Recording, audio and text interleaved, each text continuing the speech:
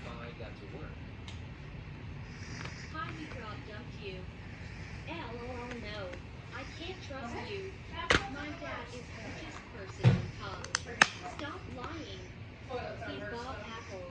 W-H-A-T Bob Apple. The richest man in I guess. I guess Yeah. You can rush. She can give her a And it, it's easy to reach, like, pretty much.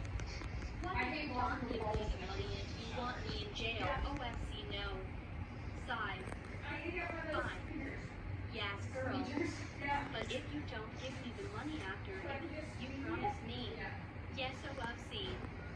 Okay, what is her address? 2761. Okay. Mom. Hey, sweetie, what wrong? Can you drive me to 2761?